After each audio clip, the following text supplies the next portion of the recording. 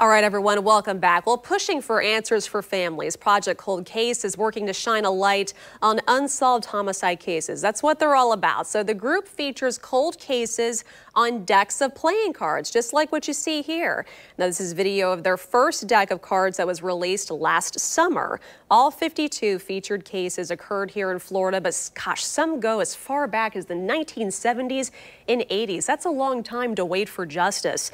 And the hope in sharing these cases cases is to trigger that long forgotten memory. So Project Cold Case is now releasing a second edition of these decks of cards. And joining me is Ryan Backmann, the founder of Project Cold Case. It's always a pleasure to see you, Ryan. It's great to see you, Ashley. Absolutely. So I got you, you've got them in your hands. So second edition of the cards. Can you talk about the success of the first edition? And, you know, this is special.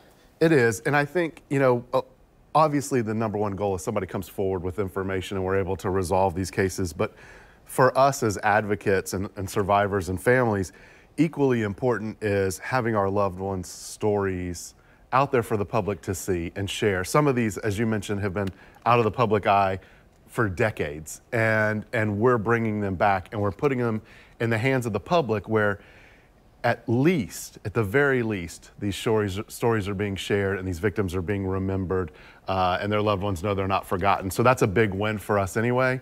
Uh, your story last year actually kind of went viral yes, on these did. cards. So uh, we had such an outpouring of support and requests for other victims to be added that we made a commitment basically uh, to continue producing these decks of cards as long as funding allows um, so that everybody that has submitted their loved one to Project Cold Case gets their day uh, with their loved one on a deck or on a, on a face card. We know there's tens of thousands of cases, but you know, a, a, very nice woman actually reached out to us here at News4JAX earlier this week. She told me that her mother's case is featured. We do have a picture. Are we able to pull it up here? Nancy Canode, there it is, right it there. Is. This beautiful lady you see right here.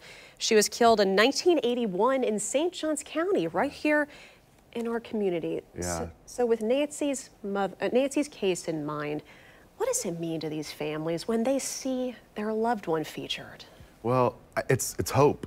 Um, it's, it's knowing that their loved one is not forgotten, and it's knowing that someone else cares. And, and a lot of times, that's what these families need more than anything, even more than the resolution, is knowing that someone else cares.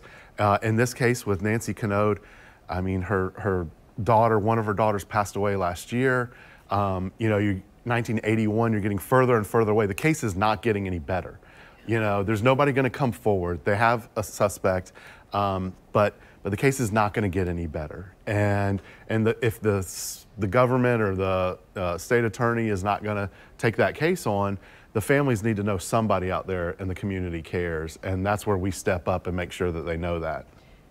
And Ryan, we have about a minute left, but um, you know what this is like personally, don't you? Yeah. Yeah, my dad was murdered in uh, 2009 um, here in Jacksonville, and his case is still unsolved. Next month will be 14 years.